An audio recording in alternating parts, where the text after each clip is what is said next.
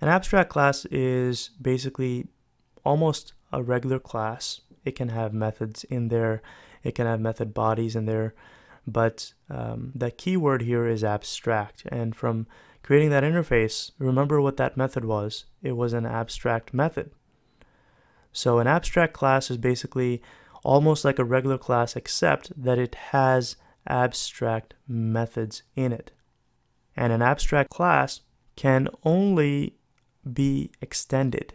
You cannot instantiate an instance of an abstract class. It's only meant to be a parent of another class.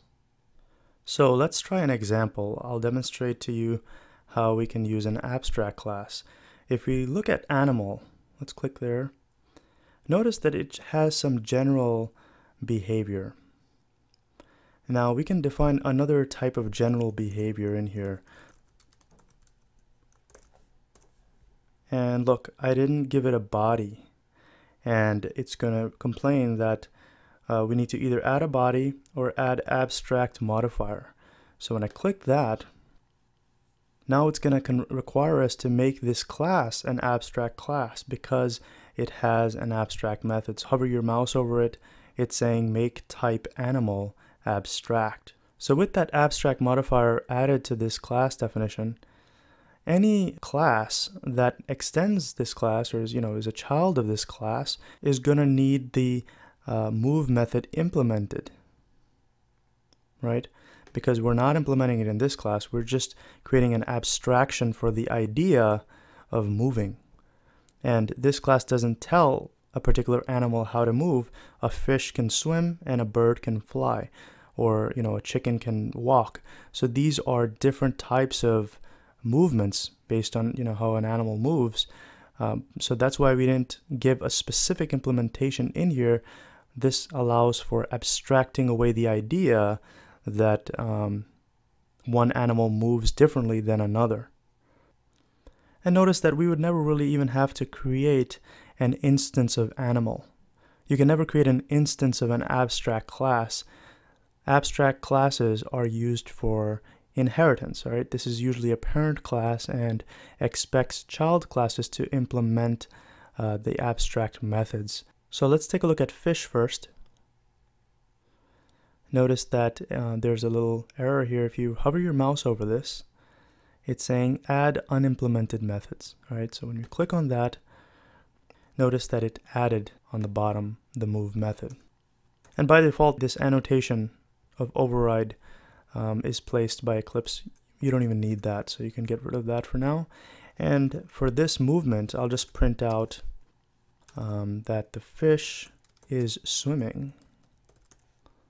And for the bird, this is also going to require us to implement the move method. So when you hover your mouse over it, add unimplemented methods. So I can basically just write this. I can say flapping wings, right? Just because the bird is flapping wings doesn't mean he's actually flying or walking. It is a move method. It's a general method for moving. So this makes sense here. So now back in the zoo class, if I if I want to first, for example, sparrow is inheriting from bird. If I want to make sparrow move, look at what it's going to say. So I'll create an object of type sparrow. And we have to obviously give it the proper arguments to um, construct a proper bird.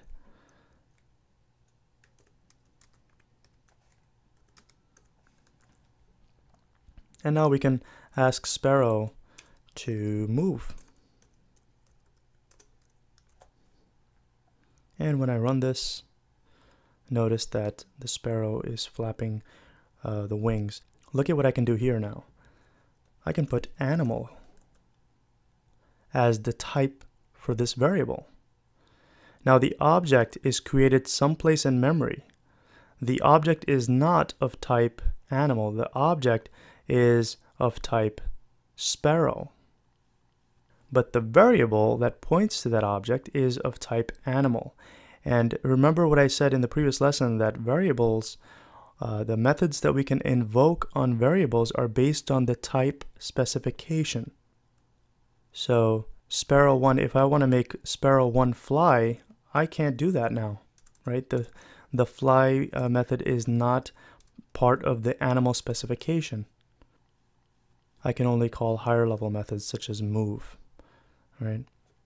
So that's an important point. Keep that in mind. Uh, I'm going to make this back to Sparrow. And now it will have other methods. For example, fly is there. And uh, of course, eat and sleep are already being inherited by this guy. Now I can make the fish move as well. And fish1 dot, um, we can make it move. And notice how the fish moves. When I run this, the fish moves in a different way, right? So let me change this back to move for sparrow. All right, so now the sparrow is moving and the fish mo should move. So when I run this, look how the sparrow moves and look how the fish moves. Now you may be wondering if we have to create the move method in the sparrow class as well as the fish class, what's the point of having that method in the abstract class? We could just write these methods in the actual child classes themselves. Well, here's the beauty. Take a look at this. I can make this an animal type and I can make this an animal type. They are both animals. Fish is an animal and sparrow is an, is an animal. And through their type specification, through the animal type specification, I can invoke the move and same goes for the fish. That is also of animal type specification. But the actual object, when the application runs, the actual object's behavior will be different because this object is actually a fish and this sparrow is actually a sparrow. And this allows for making things more dynamic or generalized. For example, if I want to create a method in the zoo class, let's create another method. And this is going to be a static method, move animals. All right, we want to move uh, animals from one side of the zoo to another, for example. In here, I can just uh, give an argument of type animal. Oh, and I need to have a return type here. Now all I have to do is call animal dot move and this method this particular method called move animals works for any kind of animal all right so I've created an object that is a fish right? Its variable type is an animal but the actual object that's created in memory is the fish right? So you want to be thinking in terms of runtime. This application is running line by line and it's bringing to life objects that will behave dynamically. Let me call this method. And I can just pass in fish1. I can pass in the sparrow.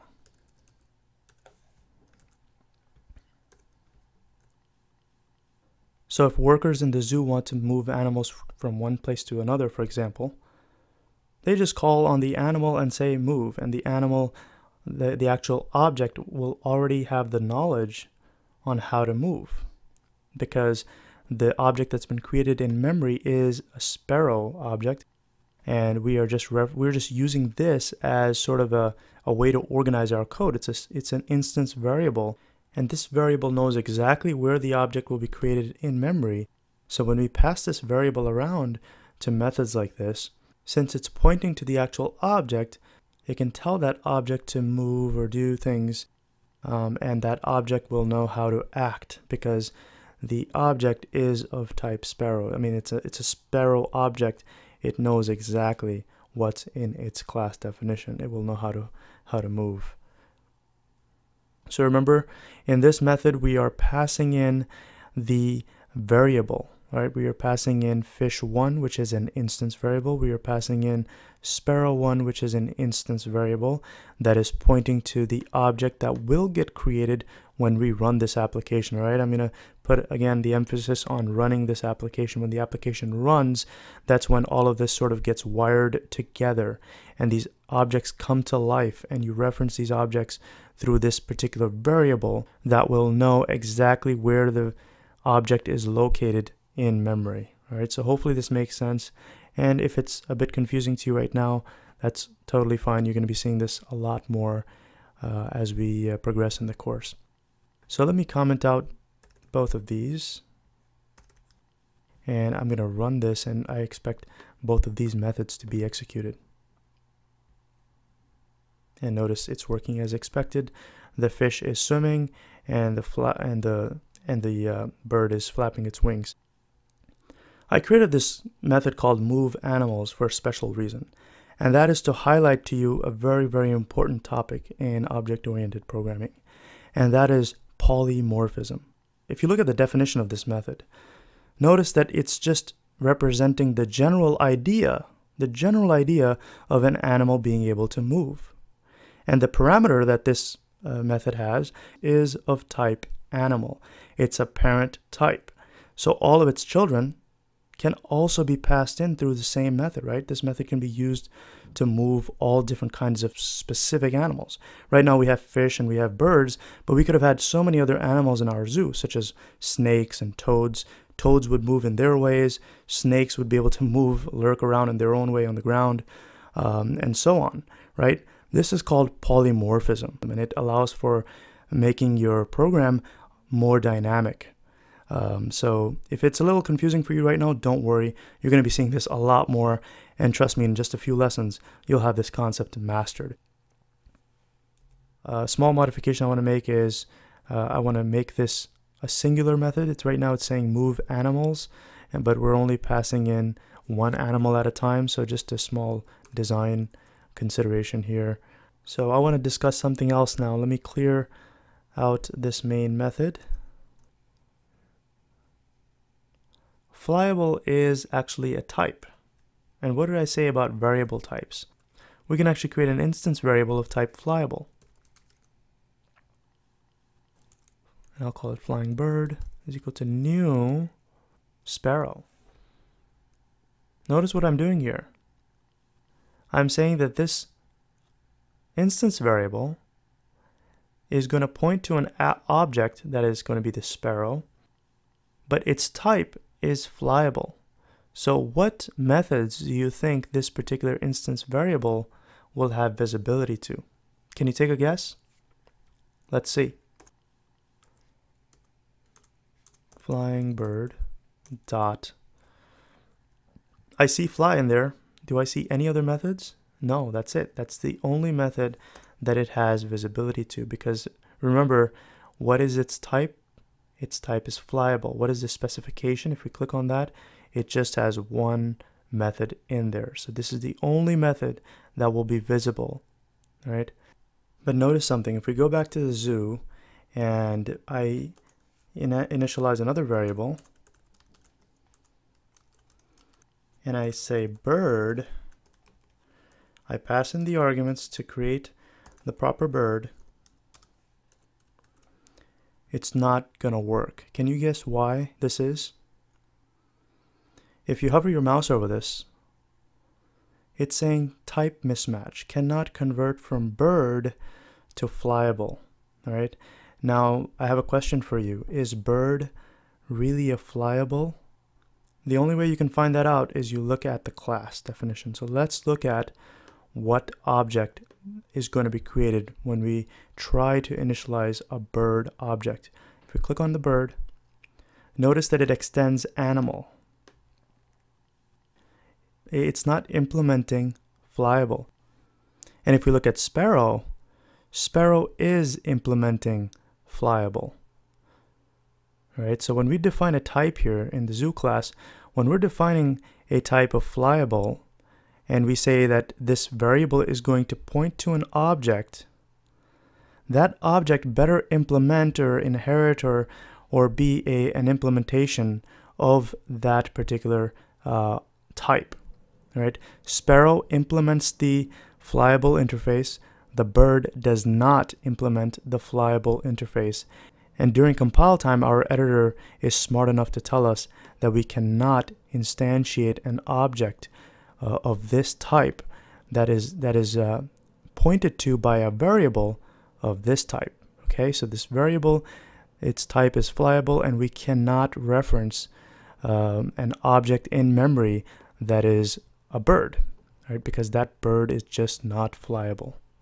All right, so there's a lot more we can talk about, but I'll leave that to the remainder of the course in which I think you'll have a smooth transition once you practice these concepts. And uh, there's a lot more to learn in this course, and I'm sure uh, it'll be a wonderful experience for you. Uh, do all of the practice assignments, and I wish you the best of luck.